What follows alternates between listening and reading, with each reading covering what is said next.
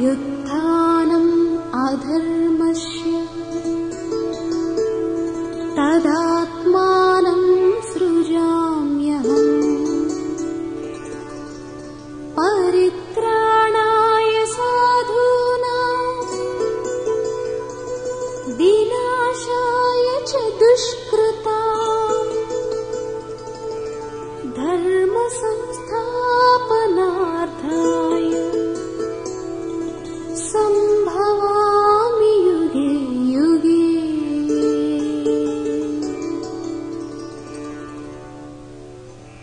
ధర్మము నశించునప్పుడు అధర్మము వృద్ధి పొందునప్పుడు నేను అవతరించను. సన్మార్గులను రక్షించుటకు దుర్మార్గులను శిక్షించుటకు ధర్మ సంస్థాపన కొరకు యుగ యుగములందు ఉద్భవించదు అని గీతాచార్యుడైన శ్రీకృష్ణ భగవానుడు చెప్పినట్లు భగవంతుని ప్రతినిధులకు యోగులు సిద్ధులు మహాపురుషులు ధర్మానికి విఘాతం కలిగినప్పుడల్లా అవతరించి ఆ కర్తవ్యాన్ని నిర్వహించారు. క్రీస్తు శకం పంతొమ్మిదవ శతాబ్దంలో మన భారతదేశం ఇంగ్లీషు వారి దాస్య శృంఖలాలలో మ్రగ్గుతున్న సమయంలో ఒకే దేశస్థులైనప్పటికీ సహోదర భావం వేడనాడి హిందూ ముస్లిములు తమలో తాము కలహించుకున్న తరుణంలో సర్వజనులు దైవభక్తిని మరచి ఇల్లు వాకిలి సంసారము సంతానమే జీవిత పరమార్థాలుగా ఎంచి విషయ సుఖలాలసులై మోక్ష మార్గాన్ని విడచి అధర్మవర్తనులైన ఆపత్ సమయాన ఆపద్ బాంధవునిగా అపర దత్తాత్రేయమూర్తిగా అవధూత చక్రవర్తిగా మహారాష్ట్రలోని అహ్మద్నగర్ జిల్లాలో పుణ్యతమమైన గోదావరి నదీ తీర ప్రాంతమైన షిరిడీ గ్రామంలో అవతరించారు శ్రీ సాయిబాబా. ఏ మహాత్ముని పాదస్పర్శ వల్ల షిరిడీ పుణ్యస్థలైనదో ఏ కృపాకరుని కరుణా కటాక్ష వీక్షణాల వల్ల మానవాళి ధన్యత చెందిందో అటువంటి సాయిని సమర్థ సద్గురు సాయినాథ్ మహారాజుకి జై అంటూ స్మరించి పునీతులవుదాం అశేష ఆంధ్ర ప్రజలారా నా తెలుగుదేశ సోదర సోదరీమణులారా అమృతోపమయమైన శ్రీ సిరిడి సాయి సంపూర్ణ చరిత్రను చెవులారా విని మనసారా ఆస్వాదించి మనమంతా తరిద్దాం. రండి కదలి రండి తరలి రండి. ఓం సాయిరాం నేటి సిరిడి గ్రామానికి పూర్వపు పేరు శీలతి. బాబాని ఆ షిరిడీ గ్రామ ప్రజలు పద్దెనిమిది వందల యాభై నాలుగవ సంవత్సరంలో పదహారు సంవత్సరాల బాలూన్ రూపంలో ఒకనొక వేప చెట్టు కింద తపస్సు చేసుకుంటూ కూర్చుని ఉండగా తొలిసారి తిలకించారు. అది హఠాత్ సంఘటన. అంతకుముందు ఆ బాలును ఉనికి ఆ గ్రామంలో కాని చుట్టుపక్కల ఎక్కడా గాని లేదు. పువ్వు పుట్టగానే పరిమళిస్తుందన్నట్టు చూచుటకు బాలుడే అయినా ఎట్టి చాపల్యము లేక నిర్మోహంగా నిర్వికల్పునిగా నిర్వికారునిగా తోచేవాడు. ఎవరితోనూ కలువక నిస్సంగుడై చలికిని ఎండకును చెదరక సమస్తుడై రాత్రులందు సైతము నిర్భీతుడై పొడవైన కేశాలతో రాజకుమారునిలాగా టీవీగా ఉండేవాడు. షిరిడీలో ఖండోబా అనే శైవ ఆలయం ఒకటి ఉన్నది. అప్పుడప్పుడు ఖండోబా అక్కడి గణాచారి మీద పూనుతుండేవాడు. ఒకసారి అలాగే పూనకం రాగా ఊళ్ళో వాళ్ళందరూ కలిసి ఆ కుర్రవాడిని గురించి ప్రశ్నించారు. ఖండోబా వారి చేత ఆ వేప చెట్టు కిందనున్న ఓ స్థలాన్ని తవ్వించగా అడుగున ఓ భూగ్రహం దాంట్లో నాలుగు దీపాలు జపమాలలు కనిపించాయి. ఈ కుర్రవాడు ఇక్కడ పన్నెండేళ్ళు తపస్సు చేశాడు అని ఖండోబా చెప్పగా విన్న ఊళ్ళో వాళ్ళ ఆశ్చర్యానికి అంతులేదు పదహారు సంవత్సరాల బాలుడు పన్నెండేళ్ళు తపస్సు చేయడమా? అంటే నాలుగో ఏటే తపస్సును ప్రారంభించాడనమాట అది ఎలా సాధ్యం అని సందేహించారందరూ. కానీ ఇందులో నిజంగా సందేహపడవలసిన పనేమీ లేదు. పరమ భాగవతోత్తములకు దైవాంశ సంభూతులకు కారణ జన్ములైన బాబా వంటి వారికి ఇవి సుసాధ్యాలే. తండ్రి తనను తొడపై కూర్చోనివ్వలేదన్న అలుకతో విష్ణు సాక్షాత్కారానికి ఘోర తపస్సు చేసిన చిన్నారి ధ్రువుని వయసు ఎన్నేళ్ళు. తల్లి గర్భంలో ఉన్నప్పుడే నారాయణ నామాన్ని పఠించి విష్ణు పథాన్ని పొందిన ప్రహ్లాదుడి వయసు ఎన్నేళ్ళు. ఆ తర్వాత షిరిడీ ప్రజలంతా చుట్టూ మూగి ఆ సమాధి గురించి పదే పదే ప్రశ్నించగా ఆ మాట తప్పిస్తూ సాయి అది మా గురువుగారి సమాధి. దయచేసి దాన్ని మూసివేయండి అని చెప్పగా ఆ సమాధిని మూసివేశారు. ఆ తర్వాత బాబా నాలుగేళ్ళ పాటు షిరిడీలో మళ్ళీ కనిపించలేదు. ఇరవయవ సంవత్సరంలో మళ్ళీ షిరిడీ పునఃప్రవేశం చేశారు బాబా షిరిడీ ప్రవేశానికి ముందు ఆయన జీవిత చరిత్ర ఏమిటన్నది ఇదమిద్ధంగా ఎవరికీ తెలియదు. అయితే ఆయన జీవితకాలంలో పలు సందర్భాలలో బాబాయే స్వయంగా తెలిపిన విషయాల్ని బట్టి హేమాండ్ పంతు దాస్కణు వంటి శిష్యుల పరిశోధనల వల్ల తెలిసిన సమాచారాలను బట్టి కొంతవరకు షిరిడీ పూర్వ సాయి జీవిత చరిత్రను ఈ విధంగా చెప్పుకోవచ్చు. బాబా అప్పటి నైజాం రాష్ట్రంలో మారుమూలనున్న పత్రి అనే గ్రామంలో ఈశ్వర భక్తి తత్పరులైన గంగాభవాఢ్యుడు దేవగిరి అమ్మ అనే నిరుపేద పుణ్య దంపతులకి పుత్రునిగా పద్దెనిమిది వందల ముప్పై ఎనిమిదవ సంవత్సరంలో జన్మించారు. ఆ దంపతులిద్దరూ పార్వతీ పరమేశ్వరుల పూజను నిరంతరం చేస్తూ ఉండేవారు. గంగాభవాఢ్యుడు పడవలు నడుపుకుంటూ తన జీవనయాత్రను గడుపుతూ ఉండేవాడు. అది వర్షాకాలం అవడంతో పడవలు కొట్టుకుని పోతాయేమోనని భార్యతో చెప్పి ఒక రాత్రి పడవలను కాపలా కాయడానికి వెళ్ళాడు ఆయన. పార్వతీ పరమేశ్వరులు దేవగిరి అమ్మ భక్తిని సచ్చీలతను పరీక్షింపదలిచారు. పరమేశ్వరుడు ఒక వృద్ధుని రూపంలో వచ్చి ఆ రాత్రి పొద్దుపోయిన తర్వాత వారింటి తలుపు తట్టాడు. భర్త తిరిగి వచ్చాడేమోనని ఎంతో ఆశతో తలుపు తీసిన దేవగిరి అమ్మతో ఆ వృద్ధుడు అమ్మా బయట బాగా చలిగా ఉంది. కొంచెం మీ ఇంట్లో పడుకోవడానికి చోటిస్తారా? అని అడిగాడు. ఆమె అలాగే లోపలికి రండి బాబు అని ఆ వృద్ధుడిని ఆహ్వానించి లోపలి పరుపు తెచ్చి ఇచ్చి అక్కడ పడుకోమని చెప్పి తన గదిలోకి వెళ్ళి తలుపేసుకుంది. కొద్దిసేపు అయిందో లేదో మళ్ళీ ఆ వృద్ధుడు వెళ్ళి తలుపు తట్టాడు. ఆమె తెరవగానే నాకు చాలా ఆకలిగా ఉందమ్మా కొంచెం అన్నం పెట్టవు అన్నాడు వృద్ధుడి రూపంలో ఉన్న పరమేశ్వరుడు. వెంటనే ఆమె ఇంటిలో వెతికి ఇంత పిండిలో పెరుగును కలిపి ఇచ్చి మళ్ళీ గదిలోకి వెళ్ళి తలుపేసుకుంది. మరి కొంతసేపు అయ్యాక వృద్ధుడు మళ్ళీ తలుపు తట్టి ఆమెను లేపి తల్లి నా కాళ్ళు నొప్పులుగా ఉన్నాయి. కొంచెం ఒత్తుతావా? అని అడిగాడు. ఆ మాటలు వినగానే ఆమె కంగారు పడింది. పూజ గదిలోకి వెళ్ళి పార్వతి విగ్రహం ముందు మోకరిల్లి తల్లి ఏమిటి తల్లి ఈ పరీక్ష నాకు? ఇప్పుడు నేనేం చేయాలి అతని సేవ చేయాలా పరశ్రేణి కదా? అని దూరంగా ఉండాలా? అని విలపిస్తూ ఆ గడ్డు పరిస్థితి నుంచి తనని గట్టెక్కించమని వేడుకుంటూ ఉండగా మళ్ళీ తలుపు తట్టిన శబ్దమైంది. ఈసారి ఓ స్త్రీ లోపలికి వచ్చింది అమ్మా ఒక ముసలాయనకి సేవ చేయాలట కదా. నేను చేస్తానమ్మా అన్నది. ఆ మాటలకు దేవగిరి అమ్మ ఆశ్చర్యపోతూ ఆమెను పంపింది ఆ పార్వతీయే అని సంతోషించి ఆమెను ఆ వృద్ధుడి వద్దకు పంపి తను గది తలుపులు వేసుకుంది. ఇంతలో మళ్ళీ తలుపు తట్టిన శబ్దమైంది. దేవగిరి అమ్మ తలుపు తీయగా ఎదురుగా పార్వతీ పరమేశ్వరులిద్దరూ అభయహస్తాలతో నిలబడి ఉండడం చూసి పరమానంద భరితురాలై వారి పాదాలపై పడింది. వెంటనే పరమేశ్వరుడు ఆశీర్వదిస్తూ అమ్మా నీ భక్తికి మెచ్చాను. నీ గర్భాన నేనే వచ్చి కొడతాను లోకోద్ధారకుడు కారణజన్ముడు అయిన ఈ బాలుని కాలక్రమాన ఓ ఫకీరు వచ్చి అడిగినప్పుడు తప్పక అతనికి చేయండి అని దీవించి ఇద్దరూ అదృశ్యులయ్యారు. మర్నాడు ఉదయం ఇంటికి వచ్చిన భర్తతో దేవగిరి అమ్మ పార్వతీ పరమేశ్వరుల రాక గురించి వారిచ్చిన వరం గురించి చెప్పగా గంగాభవాజుడు భార్యకు లభించిన దైవ సాక్షాత్కారం తనకు దక్కలేదని ముందు బాధపడినా ఆ తర్వాత ఈశ్వరాంశతో కలగబోయే పుత్రోదయానందంతో అతని మనస్సు పులకించిపోయింది. ఆ పిదప దేవగిరి అమ్మ గర్భవతి అయి నవమాసాలు నిండి ఒకనొక శుభముహూర్తాన పద్దెనిమిది వందల ముప్పై ఎనిమిదవ సంవత్సరంలో పండంటి బిడ్డను ప్రసవించింది. ఆ బిడ్డడే సకల భువన పాలకుడగు శ్రీ సాయిబాబా.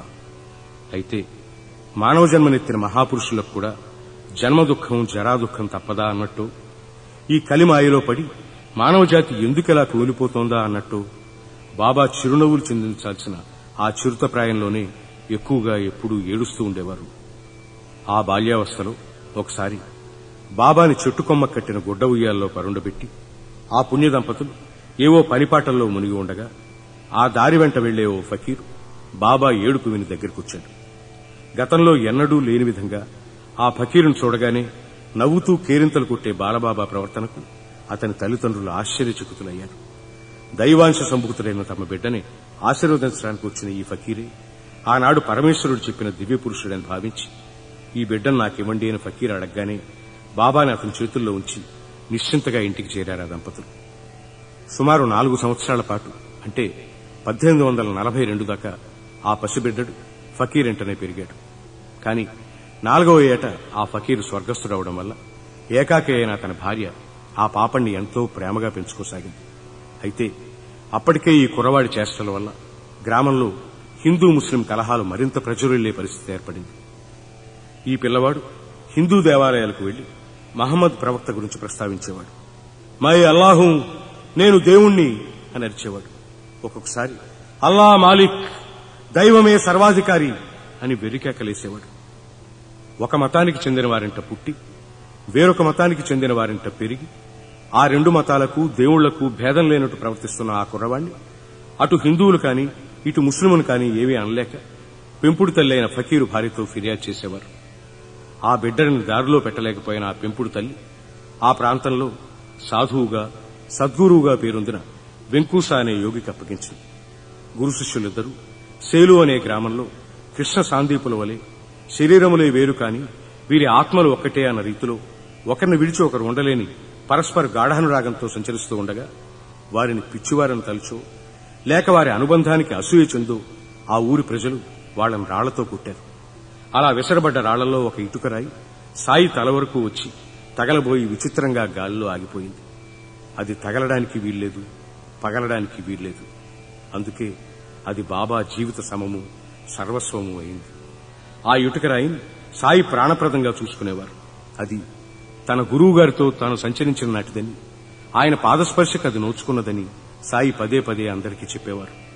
పడుకునేప్పుడు భద్రంగా ఆ ఇటుకరాయిని తల కింద పెట్టుకుని నిద్రించేవారు. పొరపాటును కూడా దాన్ని దిండుగా పెట్టుకోవడం మరిచేవారు కారు సాయి. సాయి భక్తులు ఆ ఇటుకను కూడా పూజించేవారు.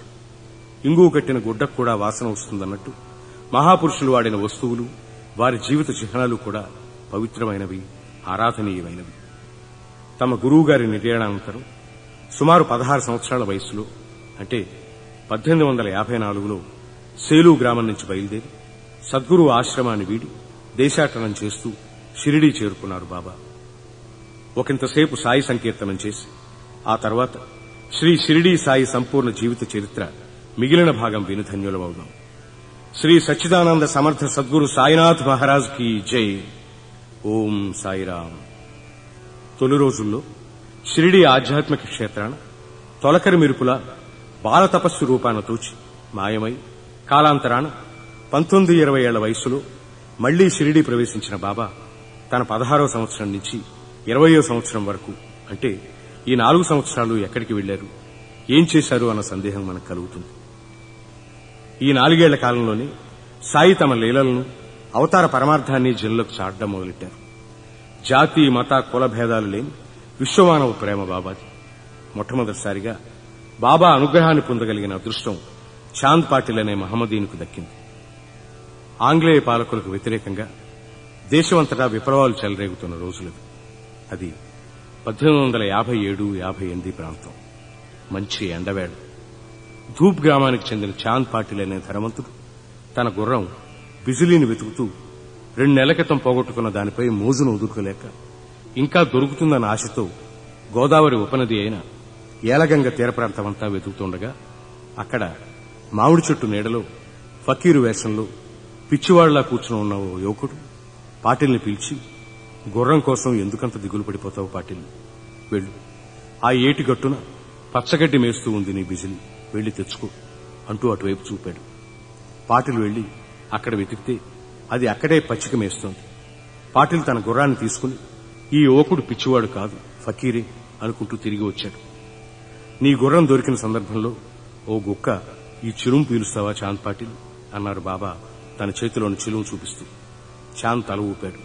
కాని చప్పిని తడపడానికి నీరు గాని పొగాకును అంటించడానికి నిప్పు గాని ఆ చుట్టుపక్కల ఎక్కడా లేవు. ఇంతలో బాబా తన చేతిలోని చిమ్టా నేల మీద గుచ్చారు అంతే ఆశ్చర్యం. బుసబుసమంటూ గుచ్చిన ప్రదేశం నుంచి గంగ చిమ్మింది. దాంతో చప్పిని అంటే చిలుముకు చుట్టే గుడ్డను తడిపారు. మళ్ళీ సటకా తీసి నేలపై బలంగా మోదేసరికి కణకణ నిప్పురవ్వలు వెలువడ్డాయి. వాటితో బాబా చిలుము అంటించి తను ఒక గుక్క పీల్చి చాంద్ పాటిల్కిచ్చారు పీల్చమని. ఇదంతా కళా నిజమా అని నోరెళ్ళ పెట్టుకుని చాంద్ పాటిల్ ఆశ్చర్యంగా చూస్తూ వంగి సలాం చేస్తూ బాబా మీరు మామూలు ఫకీర్ కాదు. నా అల్లా. దయచేసి మా ఇంటికి వచ్చి నా ఆతిథ్యం స్వీకరించాలి బాబా అన్నాడు. సరేనని అతని వెంట ధూపు వెళ్ళారు బాబా. రోజులు గడుస్తున్నాయి. ఇంతలో పాటిల్ బావమరిది పెళ్ళి నిశ్చయమైంది. ఆడపెళ్ళి వారిది షిరిడీ కావడం వల్ల మగపెళ్ళి వారితో పాటు చాంద్ పాటిల్ కోరిక మేరకు బాబా షిరిడీకి బయలుదేరారు. షిరిడీలో పెళ్ళివారితో పాటు బండి దిగుతున్న ఆ యువకుని మహల్సాపతి చూసి ఆనందించి అతను ఇంతకు ముందు ఇక్కడ ఉండి వెళ్ళిన బాలయోగి అని గుర్తించి దయచేయండి సాయి దయచేయండి అని స్వాగతం పలికాడు. మరాఠీ భాషలో సాయి అంటే ఋషి లేదా యోగి అని అర్థం. ఆనాటి నుంచి సాయిగాను ఆ పైన సాయిబాబాగాను ఆయన ప్రసిద్ధికెక్కారు. సాయి సర్వాంతర్యాన్ని ఆయన సూక్ష్మ శరీరం ఈ అనంత విశ్వం అంతా మార్మికమైన వాయువు లేదా మిస్టీరికల్ ఈథర్లా వ్యాపించి సాయి భక్తులను సర్వదా రక్షించి కాపాడుతుంది. ఆయన విశ్వదేవుడు కాస్మిక్ గాడ్. అందువల్లనే సుదూరాన ఉన్న తను ఉన్న చోటు నుంచే ఆ గుర్రం ఉనికిని తెలుసుకోగలిగారు ఆయన బృహదారణ్యక ఛాందోగ్య కఠ శ్వేతాశ్వతర ఉపనిషత్తుల్లో ఈ విశ్వం అంతా భగవంతుని రచన అని అది అంతయు అంతర్యామిచే వ్యాపించబడి ఉన్నదని చెప్పబడి ఉంది. పంచభూతాలను తన పాదాక్రాంతుల్ని చేసుకున్న పరమాద్భుత చరితుడు సాయి. ఇప్పుడు కొన్ని వేల సంవత్సరాల క్రితం జరిగిన మహాభారత యుద్ధంలో అంపశయిపై అవసాన దశలో ఉన్న భీష్ముని దాహాన్ని తీర్చడానికి అర్జునుడు బాణాన్ని భూమిలోకి వేయగానే ఆకాశగంగ పెళ్ళుబుకిన వైనం. నమ్మిన వాళ్ళు నమ్మారు నమ్మని వాళ్ళు ఆ అంతా అభూత కల్పన అని కొట్టిపారేశారు. కానీ ఇదేమిటి? సటకా నేలలో గుచ్చగానే నీరు నిప్పు రావడమేమిటి? ఇది జరిగి కేవలం కేవలం వంద సంవత్సరాలు మాత్రమే అయింది. షిరిడీ సాయి సన్నిధిలో ఈ వింతని కళ్ళారా చూసిన వారు నేటికి ఉన్నారే. నీటిని నిప్పుని సృష్టించినట్టే వాటిని నియంత్రించడం కూడా సాయి లీలల్లో ఒకటి. ఒకసారి షిరిడీలో చాలా పెద్ద తుఫాను వచ్చింది మొదట చిన్న చిన్న చినుకులుగా ప్రారంభమైన వాన చూస్తుండగానే పెద్ద కుంభవృష్టిగా మారి పెనుగాలులతో భీభత్సంగా మారింది షిరిడి ప్రజలు హాహాకారాలు చేస్తూ సాయిని శరణుజొచ్చారు పలు ప్రాంతాల నుంచి వచ్చిన బాబా భక్తులు వారి పనులకు వెళ్ళలేక షిరిడీలోని చిక్కుకుని పోయి మా మా ఉద్యోగాలు ఏమవుతాయో అని భయపడే సమయంలో బాబా ఆకాశం వంక చూస్తూ తగ్గిపో. నీ తీవ్రత చాలించిక అనగానే తుఫాను ఒక్కసారిగా వెలిసిపోయింది. మరో సందర్భంలో ధునులో మంటలు ఉవ్వెత్తున ఎగసి పైకప్పు అంటుకుని పెద్ద అగ్ని ప్రమాదం జరగబోయేంతలో సాయి చాలే ఇంకా శాంతించు అనగానే అంత పెద్ద మంట మామూలు స్థితికి వచ్చింది. చిన్న చిన్న మహిమలు చౌకబారి చిట్కాలు చాలా మంది చూపగలరేమో కాని పంచభూతాది శక్తుల సృజన నియంత్రణ పరిపూర్ణ సిద్ధులకు అనన్య సామాన్య మహిమాన్వితమూర్తులైన సాయి వంటి వారికి మాత్రమే సాధ్యం. సాయి అంతటి మహనీయుని పాదధూడితో పవిత్రమైన షిరిడీపురము ఆ పుర ప్రజలు ఎంత ధన్యులు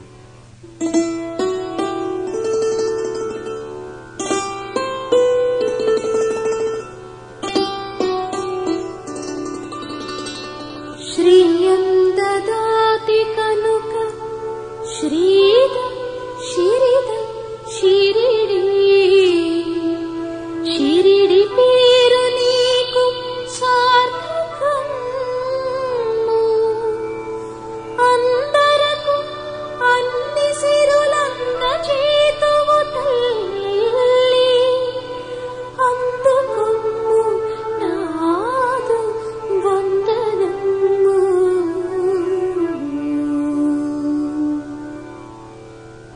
పదహారో ఏట కొన్ని రోజులు షిరిడీలో ఉండి మళ్ళీ నాలుగు సంవత్సరాల తర్వాత షిరిడీ పునఃప్రవేశం చేసిన బాబా ఈసారి ఎన్నో కష్టనిష్ఠూరాలను ఎదుర్కోవాల్సి వచ్చింది.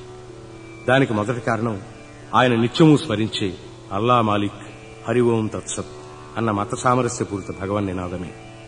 అలా అల్లాని హరిని కలిపి ఉచ్చరించడం ఇరు వర్గాల వారికి ఇబ్బందిగా ఉండేది. పైగా బాబా ఆకుపచ్చని అంగీని అదో మాదిరి గళ్ళలుంగిని ధరించి ఒత్తుగా పెరిగిన జులపాల జుట్టుతో నూనుగు గడ్డం మీసాలతో అచ్చం ముస్లిం ఫకీర్లా ఉండేవారు. అందువల్ల హిందూ దేవాలయాల్లో బాబాకి ఆశ్రయం నిరాకరించబడింది. బాబా ఆ నిర్ణయానికి అణుమాత్రమైనా బాధపడలేదు. ఏ వేప చెట్టు కిందో తలదాచుకుంటానన్నారు. బాబా ఏ మతానికి చెందినవాడో నిర్ణయించలేకపోయిన గ్రామ ప్రజల మత మౌఢ్యం గ్రామ పెద్దల మూర్ఘత్వం వల్ల శ్రీ సాయిబాబాని ఊరి బావుల్లో నీరు కూడా తాగకూడదని నిషేధించడం జరిగింది. అయినా బాబాకు కోపం రాలేదు. చిరునవ్వు నవ్వుతూ ఊరి శివార్లకు వెళ్ళి అక్కడ గొడ్ల కొరకు ఏర్పాటు చేసిన పశువుల తొట్టులోని నీళ్ళు తాగుతూ ఉండేవారు బాబా. ఆ నీరు తాగవద్దని తాను వేరే నీరు తెచ్చిస్తానని మహల్సాపతి వంటి భక్తులు చెప్పినా సాయి వినేవారు కారు. ఆ నీరు పశువుల ఎంగిలి అన్న మహల్సాపతితో సాయి నవ్వుతూ అమాయకుడా ఆత్మజ్ఞానం లేని మనిషే పశువు కన్నా హీనుడు. నిజానికి మనం అందరం పశువులమే. వాటిలా మనము చిన్నప్పుడు నాలుగు కాళ్ళతో పాకిన వాళ్ళమే. వాటికి ఉండే రెండు కొమ్ములు వంటివే మన అహంకారం దురభిమానం. అవి తినే గడ్డి మనం తినే ధాన్యం రెండూ ఒక పంటలోనివి పశువులు మనుషులకు బానిసలైతే మనుషులు ఆశలకు బానిసలు. అవి రాట కట్టబడి ఉంటే మనం సంసారానికి బంధింపడి ఉంటాం.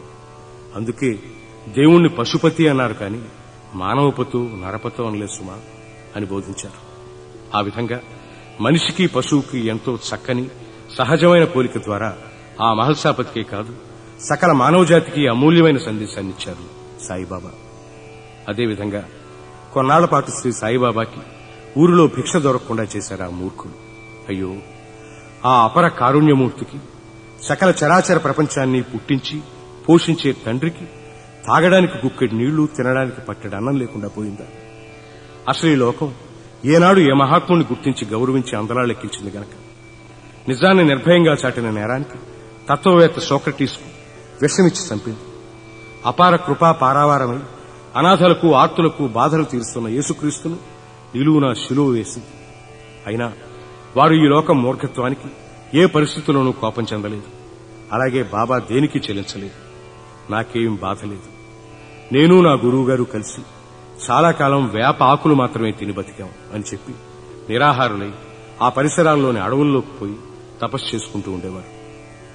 సాయి రెండోసారి షిరిడీ వచ్చిన దగ్గర నుంచి ఆయన్నే గమనిస్తూ ఆయనలో ఒక దివ్య పురుషుణ్ణి సందర్శిస్తూ మనసులోనే పూజిస్తూ వచ్చిన తాత్యా పాటిల్ తల్లి అప్పాకోటే భార్య అయిన బాయిజాబాయి ఆనాడు కృష్ణుణ్ణి లాలించి బుజ్జగించి అన్నం తినిపించిన యశోద వలి అడవిలో సంచరిస్తున్న సాయి కోసం అన్నం గంప నెత్తిన పెట్టుకుని మైళ్ళ తరబడి ముళ్ళబాటల వెంట నడుచుకుంటూ వెళ్ళి బతిమాలి బామాలి అన్నం తినిపించేది. ఆమె కష్టం కలిగించరాదన్న సదుద్దేశంతో బాబా ఇంకా అడవిలో చాలా లోపలికి వెళ్ళినా ఆమె మాత్రం సాయిని వెతికి పట్టుకుని అన్నం తినిపించాక గాని వెనుదిరిగి వెళ్ళేది కాదు. హ, ఆ మాతృబంధం. కనకపోయినా ఆ కడుపు తీపి ఎప్పటిదో. కేవలం ఆ వయసులో ఆమెకు శ్రమ తప్పిద్దామని బాబా షిరిడి అడవుల్లోంచి గ్రామానికి వద్దామని నిర్ణయించుకున్నారు. చేసిన మేలు మరువని కృతజ్ఞతాపూర్తి సాయిబాబా. ఊరు ఊరు మొత్తం వెలివేసినట్టు ప్రవర్తించిన నోటికింత అన్నాన్ని పెట్టి ఆకలి బాపిన ఆ మమతామూర్తి బాయిజాబాయి కుటుంబాన్ని సాయి కడదాకా కాపాడారు. అంతేకాదు ఆమె కుమారుడు తాత్యా పాటిల్ ప్రాణానికి తన ప్రాణం అడ్డు వేసి మృత్యుముఖం నుంచి రక్షించారు. ఈ విషయం వివరంగా తర్వాత ప్రస్తావించుకుందాం. మునుపట్లాగే మసీదులో నివసిస్తున్న సాయి ముస్లిమని ఆయన దర్శనార్థం హిందువులెవరూ అక్కడికి రాకూడదని మహమ్మదీయులు ఆంక్ష విధించారు. కానీ మహల్సాపతి ఆ నిర్ణయాన్ని ఎదిరించి నా దైవమైన బాబాని పూజించడం మాననని పూజా ద్రవ్యాలతో మసీదుకొచ్చాడు. ఇంకేముంది అతని దృఢభక్తిని మొండితనంగా భావించిన అవతలి వర్గం వారు ఆయన తలపై బలంగా మోదారు. వెంటనే మసీదులోంచి బాబా అమ్మా అంటూ పెద్దగా అరిచిన గావు కేక విని ఇరు వర్గాల వారు లోపలికి పోయి చూతురు కదా ఏముంది? మహల్సాపతిని కుట్టిన దెబ్బలన్నీ బాబా ఒంటిపై తేలి ఉన్నాయి. మహల్సాపతికి విచిత్రంగా ఏమీ కాలేదు కానీ బాబా తల నుంచి రక్తం ధారాపాతంగా ప్రవహిస్తోంది. చూశారా? సర్వ మానవాళి ఒకటేనని తెలుపడానికి సాయి స్వయంగా మతమూఢుల దెబ్బలను స్వీకరించడానికి కూడా సిద్ధపడ్డాడు. మానవుల్లోని మంచితనాన్ని మేలుకొల్పడానికి తానెన్నో కష్టాలు కోర్చారు బాబా. ఆయన కంటే కరుణామయుడు దయామయుడు అయిన దైవం కలడా లేడు. లేడు ముమ్మాటికి లేడు. తమ ఆరాధ్య దైవం అయిన బాబాని గాయాలతో రక్తస్రావాలతో చూసిన ఇరుతెగల వారి కళ్ళు అశ్రుపూరితలయ్యాయి. శ్రీ సాయినాథులు ఆ హిందూ ముస్లింలను దగ్గర చేస్తూ నాయన్లారా అల్లా మాలిక్ వాడు హిందువా ముస్లిమా? యూదా క్రైస్తవుడా అన్న భేదాలు మీకే గాని నాకేమీ లేవు. ఎవరైతే ప్రేమతో భక్తితో నన్ను స్మరిస్తారో వాడు ఏ మతస్థుడైనా వాడి సమస్త కష్టాలను నేనే భరిస్తాను. మనిషిని కులం కూలదోస్తుంది మతం మంట కలుపుతుంది. సహోదరులారా స్నేహంతో సహజీవనం చేయడం నేర్చుకోండి. ఒకడి కోసం అందరం అందరి కోసం ఒకడు. సత్యం శివం సుందరం. అన్నదమ్ములం మనమందరం. ఈ విశ్వం ఒక ప్రేమ మందిరం. మత సామరస్యాన్ని సాంఘిక సమజీవనాన్ని నేర్చుకోండి అని బోధించిన క్రాంతిదర్శి సాయిబాబా. బాబా దినచర్య ఓ క్రమ పద్ధతిలో సాగేది. ప్రతిరోజు ఉదయం బాబా పేద సాధులకు దీర్ఘరోగులకు ఉచిత వైద్యాన్ని అందించేవారు. చూసేవాళ్ళకు ఆయన చికిత్సా విధానాలు వింతగాను భయం గొలిపేవిగాను ఉన్నప్పటికీ చివరిలో మాత్రం రోగ నివారకాలే మహదానందాన్ని కలిగించేవి ఓసారి ఓ రోగి కళ్ళ కలకలతో బాబా దగ్గరకు వచ్చాడు అతని కళ్ళు బాగా ఎర్రబడి వాచి ఉన్నాయి. అందరూ ఏదో అంజనం వేస్తారు బాబా అని ఎదురు చూస్తున్నంతలో విచిత్రంగా రెండు నల్ల జీడి గింజల్ని నూరి ఆ కలికాన్ని కళ్ళలో పెట్టి కట్టుకట్టి రేపటికల్లా తగ్గుతుంది పో అన్నారు బాబా. చూసేవాళ్ళ గుండెలు గుభేలు ఉన్నాయి. ఎందుకంటే నల్ల జీడి పిక్క అరగదీసి పెడితే ఇంకా జీవితంలో కళ్ళు కనపడే ప్రశ్నే లేదు. కానీ వింతగా తెల్లటి కళ్ళతో మర్నాటికల్లా ఆ రోగి నవ్వుతూ సాయి వద్దకు వచ్చాడు. అలాగే సాయిబాబా సమాధి ఉన్న రాతిమేడ కట్టించిన బూటీ కలరా వ్యాధిని బాదం పప్పు పిస్తా ఆక్రోటులతోనూ కాకా మహాజని నీళ్ళ విరోచనాలను వేరుశనగ పప్పులతోనూ మరో భక్తునికి తన చిలుము పొగ ద్వారా ఉపశాన నయం చేశారు సాయి. ప్రపంచంలో ఆ రోగాలకి ఎక్కడా కనీ వినని మందులతో నయం చేసిన అపర ధన్వంతరి శ్రీ సాయిబాబా. దీనివల్ల తెలిసేదేమిటంటే సాయి దయలే ఆశీర్వచనాలు రోగ నివారణ ఔషధాలు. అంతేకాని ఆ మందులు మాకులు కావు. ఆ మందులే సాయి ఆశీర్వచనాలు లేకుండా వాడితే ప్రమాదకారకాలవుతాయి. ఈనాటి ఆక్యుపంచర్ని పోలిన వైద్య విధానంతో అంటే సూదులతో మెడపైన వెన్నుపైన కాల్చడం ద్వారా మరొక కుష్ఠరోగికి గుణం చేకూర్చారు సాయి. పాము విషంతో సాయి తయారు చేసిన మందుతో హరి కనడే అనే మరి కుష్ఠవాడికి జబ్బు తగ్గుముఖం పట్టింది. కాని వాడు తన కోరికను చంపుకోలేక మళ్ళీ స్త్రీ సాంగత్యం మరగడం వల్ల మరణించాడు. అప్పటి నుంచి బాబా మానవుల్ని వ్యసనాలనేవి అంత తేలిగ్గా వదలవు. అసలు వ్యసనం లేని దానికి బానిస కాని మానవుడు లేడు అని తలచి తన వైద్య విధానాన్ని మార్చి ఊదీ ప్రసాదాన్ని ప్రవేశపెట్టారు అప్పటికే సాయిబాబా పేరు షిరిడి చుట్టుపక్కల పాకిపోయింది పక్క గ్రామాల నుంచి ప్రజలు రావటం మొదలెట్టారు. పతితులు పీడితులు తాడితులు అనాథల్ని ఆదరించే సన్నిధానం అయింది సాయి మసీదు. శ్రీకృష్ణుడు ద్వారక నుంచి యాదవ జనోద్ధరణ జరిపినట్టు సాయి ఆ మసీదు నుంచి దీనజనోద్ధరణ జీవితాంతం కొనసాగించారు. అందర్నీ ఆదరించే తల్లి కాబట్టి దానికి ద్వారకామాయి అని పేరు పెట్టారు. ధామమా మసీదు మహమ్మదీయము. దాని నామమా ద్వారకామాయి హైందవం ద్వారకనంటే మతభేదాల్ని పాటించక సర్వజీవకోటికి చతుర్విధ పురుషార్థాలను ప్రసాదించడానికై నిత్యము తెరిచి ఉంచిన ద్వారములు కలదు మసీదు మధ్యనే శిలువ ఆకారంలో తవ్వబడిన గోతులు రేయింబవళ్ళు మండుతూ ఉండే నిత్యాగ్నిహోత్రం ఏర్పాటు చేశారు బాబా. దాని పేరే ధుని. తునులో వేసే కట్టెలు అహంకారానికి చిహ్నాలు. అగ్ని ఆత్మ వివేచన అగ్ని అనే ఆత్మ వివేచనలో అహంకారం అనే కట్టెలు తగలడగా వచ్చిన స్వచ్ఛ జ్ఞానరూపమే బూడిద. మనిషి జీవితం బూడిద వంటిదని చివరికి ఏమీ మిగలదని దేవుడు ఏ ఉద్దేశంతో మనిషిని సృష్టించాడో ఆ మార్గాన్ని ఎన్నుకోవాలని తెలిపేదే ఆ బూడిద. ఆవు పేడతో చేయబడిన పిడకలు ఆవు నెయ్యి కర్పూరం గుగ్గిలం సాంబ్రాణి మర్రి మేడి తెల్లజిల్లెడు ఇత్యాది సమిదలు పీచు తీయని కొబ్బరికాయలు ధునులో వేయడం ఆచారం. ఆ ధునులోని భస్మాన్నే ఊదీ ప్రసాదం అంటారు.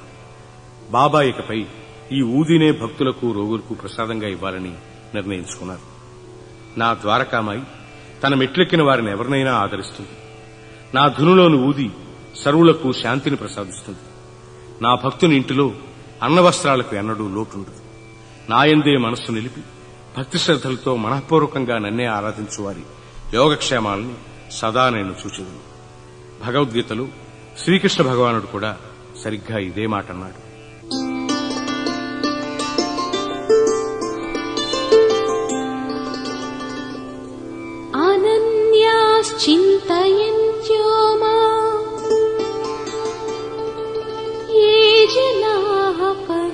पर्युपासते तेषाम् नित्याभियुक्तानाम् योगक्षेमम् वहाम्यहम्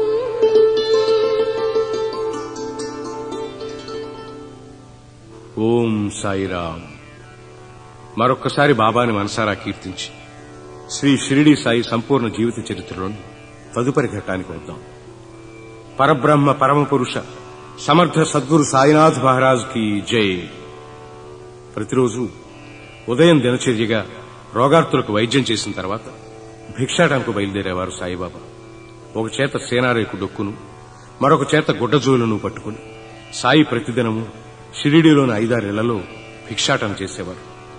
మొలలో సక్క నడుముకు ఓ పక్క వేలాడుతూ చిమ్ట మెడలో నాగభూషణాల వలె రంగురంగుల మెరుపు దండలు జటాజూటం వంటి జులపాల జుట్టు స్నానం చేసి తళ్ళొత్తకుండానే పూసుకున్న విభూది రేఖలు. మాసిపోయిన ఆకుపచ్చని చొక్కాతో భిక్షాటం చేస్తుంటే ఆదిభిక్షువైన పరమేశ్వరులా ఉండేవారు సాయి.